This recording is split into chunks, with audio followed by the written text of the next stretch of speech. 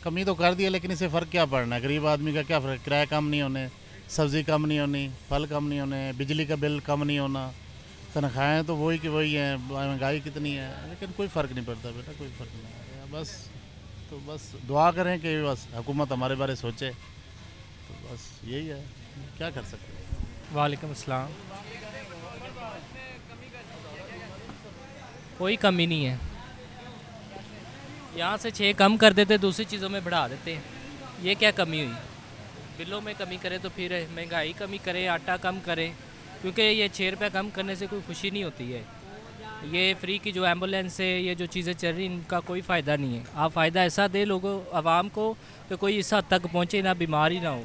मैं तो यही कहूँगा, ये छः रुपये कमी कोई खुशी की बात नहीं है।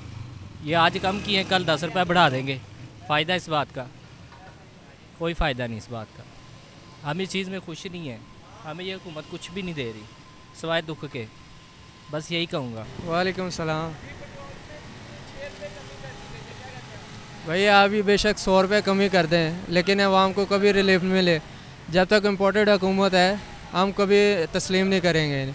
इसलिए हमसे हमारी गुजारिश है कि भाई आप हटें और जिसका मैंडेट है उसको आने दें। थैंक यू सो मच भाई बहुत बड़ी गनीमत है। छः रुपये कम कर दिए हैं।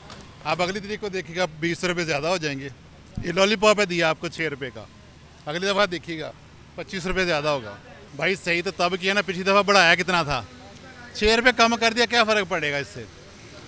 बीस बीस, तीस तीस रुपये ऊपर करते हैं और दो रुपये तीन रुपये चार रुपये नीचे कर देते हैं कि अब आम को थोड़ा सा रिलीफ मिल रहा है। ये जब बीस बीस, तीस तीस रुपये ऊपर करते हैं, तब कोई नहीं नज़र आता। तब फ़र्क तो होना चाहिए ना थोड़ा सा। अगर छः रुपये कम किया तो बढ़ाए बढ़ाए भी इतना ही, तीन, चार रुपये बढ़ाएँ। छः रुपये कम करके तीस रुपये ज़्यादा कर दिया ये जवाब तो कोई नहीं है। मैंने कहा बड़ा आसान कर दिया हमारे ऊपर भाईजन छः रुपये करके। मेहरबानी है इनकी बढ़ाते हैं तो बीस बीस पच्चीस पच्चीस रुपये और छः रुपये ये कम किया है फिर आप देख लीजिए हफ़्ते बाद बीस तीस रुपये और महँगा हो जाएगा। हाँ जी इस वजह से छः रुपये महँगा हुआ सस्ता हुआ सॉरी तो भाईजान ये कभी पाकिस्तान में कोई चीज़ कम होते है, आपने देखी तो है नहीं है तो ये किस तरह हो सकता है कि कम हो। मज़ीद बढ़ने के इम्कान ही हैं हर चीज़ के। जी, वालेकुम सलाम।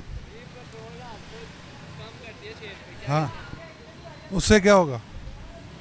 कुछ भी नहीं होना।